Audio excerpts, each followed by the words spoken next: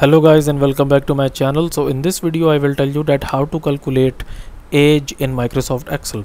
So before starting this video make sure to like this video and subscribe to my youtube channel for more tips and tricks like this one. So first of all basically you need to enter your date of birth here like in this uh, format here. This will be the day this will be the month and this will be the year.